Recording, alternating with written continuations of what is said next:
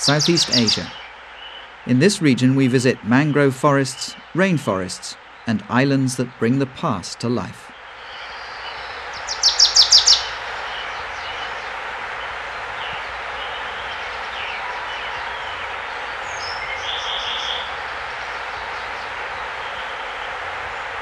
This is Singapore, known especially for its trade and bustle. Once linked to Malaysia, it lies in the heart of Asia. In political terms, there are borders, but they don't apply to nature.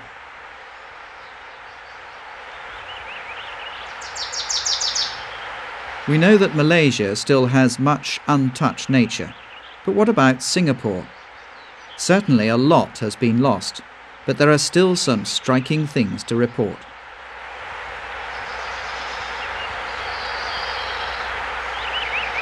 Take, for instance, the mangrove forests along the coast, or some of the 60 small islands that Singapore boasts. A natural environment with its own specific flora and fauna.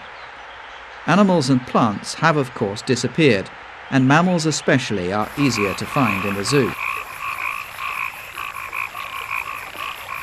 Sungei Buloh was officially opened at the end of 1993. It's a region with a long history once a big mangrove forest with a rich flora and fauna. But man also discovered this fertile region and used it for fish farming. Not for long, because people soon discovered that the entire mangrove ecosystem was intact. Mudskippers, crab, shellfish, water snakes, spiders, lizards, and birds. Nature was still calling the shots here. It was also an important stepping stone for migratory birds who used it as a place of rest during their migrations.